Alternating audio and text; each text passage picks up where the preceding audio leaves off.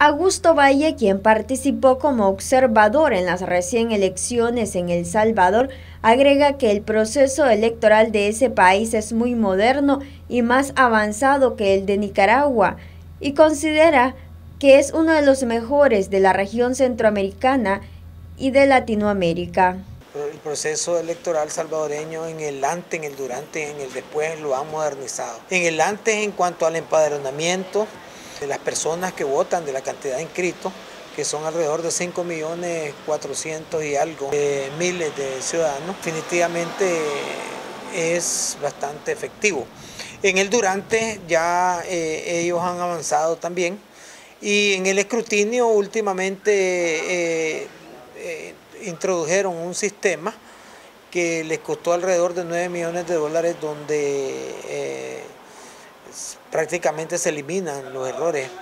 Valle afirma que en Nicaragua hay muchos cambios que se deben hacer sin necesidad de reformas electorales. Podemos decir que, estamos esperando la reforma, pero el, empadronamiento, una recedulación, una, auditoría del padrón no necesariamente necesita reforma.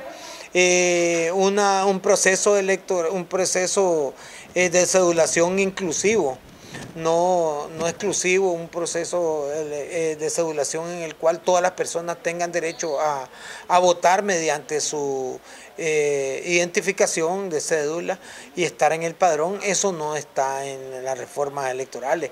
Por otro lado, eh, todos los procedimientos en cuanto al, proceso del sufragio, bueno, están dentro del capítulo del sufragio, pero también el Consejo actualmente emite resoluciones administrativas y con ello llena los vacíos. En ese sentido sí es, sí es necesario eh, reforma. Y por otro lado, el escrutinio.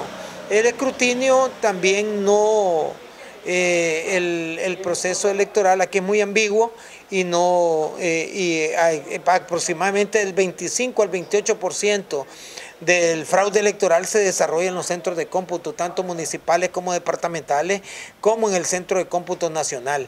Lo demás se desarrolla en el antes en cuanto a la cedulación, en cuanto a la, al padrón electoral y también el día del sufragio, en el manejo, en la maniobra, en las juntas receptoras de votos. Noticias 12, Darlene Telles.